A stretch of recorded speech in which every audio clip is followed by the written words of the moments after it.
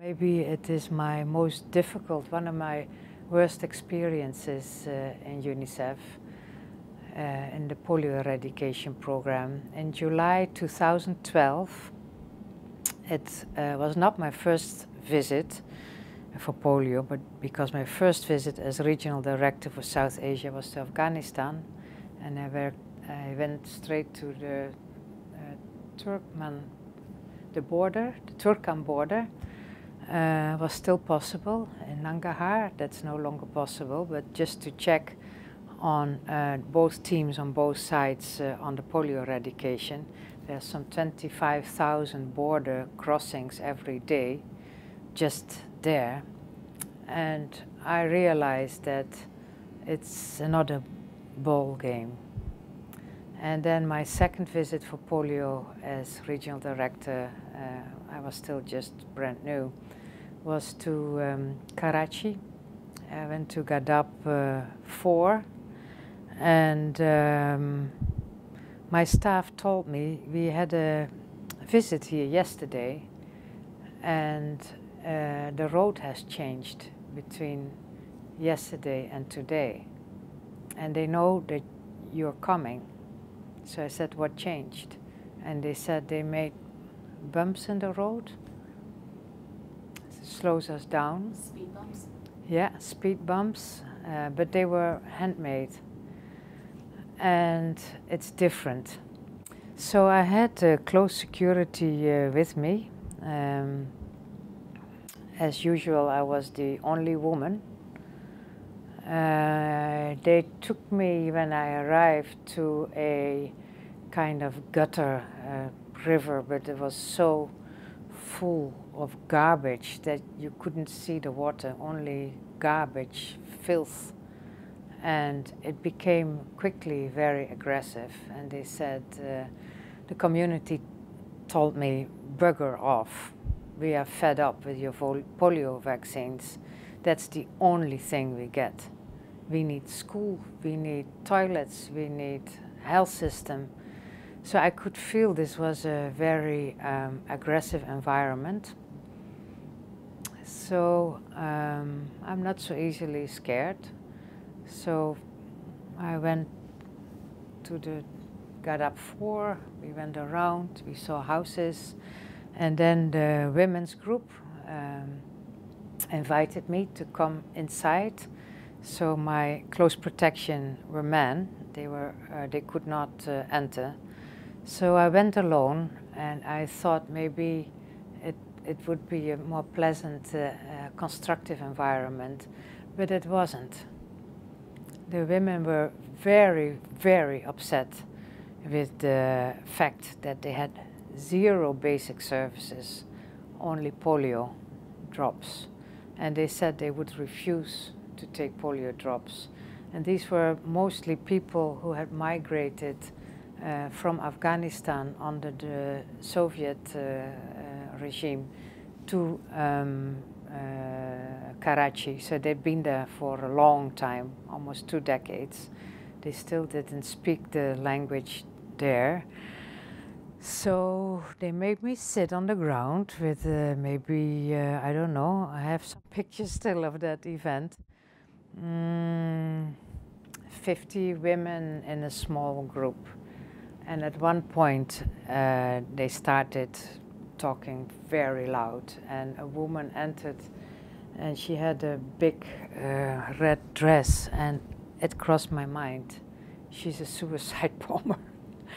And I had not much to say because I was the only woman left.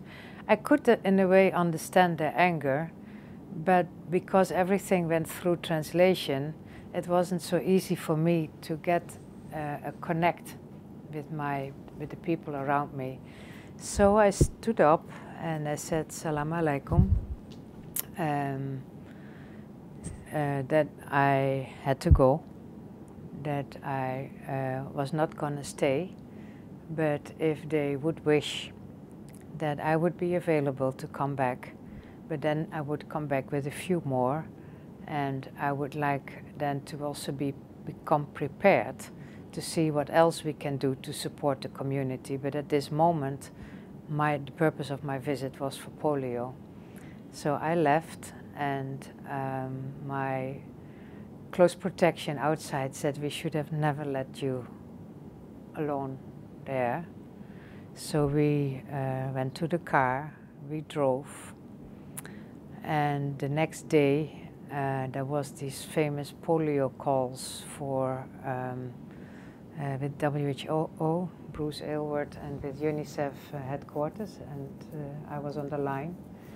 While we had our conference call, I got time after time on my mobile phone, people were trying to call me, call me, call me. So I could see the phone ringing while I was doing a, a business call, Skype for Business uh, with the others.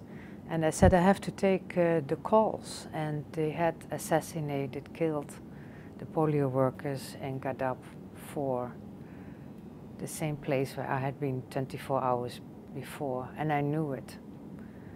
So that is something that up to date.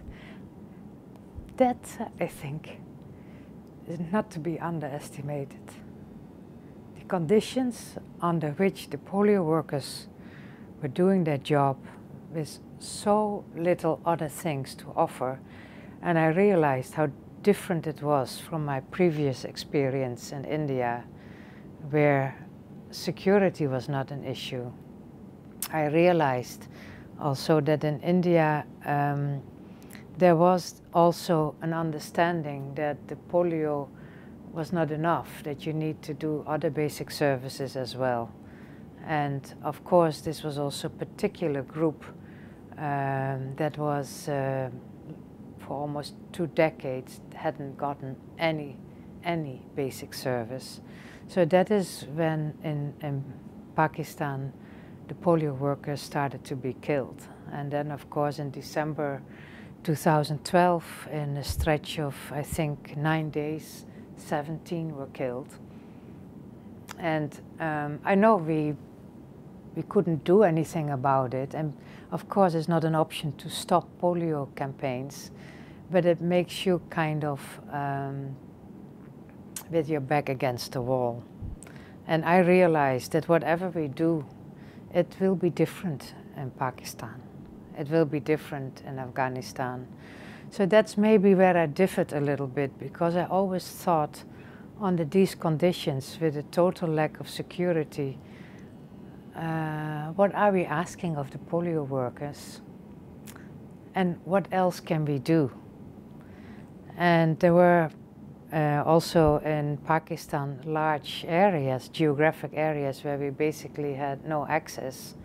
For a long time that, that was North and South Waziristan, uh, parts of Balochistan, parts of uh, other parts of FATA, um, parts of Swat Valley, and of course in Afghanistan also uh, uh, big part. So um, yeah, it's difficult to say uh, what can, what should have done, what should have been done differently. But I think um, the pact between the partners should have been stronger, including with the governments, including with the local governments, and uh, in the case of Pakistan, including with the local uh, village organizations.